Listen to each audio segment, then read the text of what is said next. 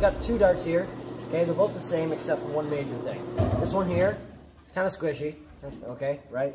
Squishy. This one, not squishy. Uh, I filled the tip with hot glue.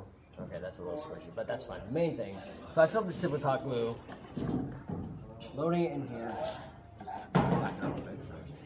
Right? Okay. Power on.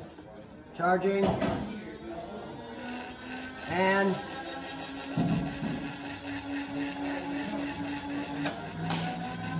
Woo!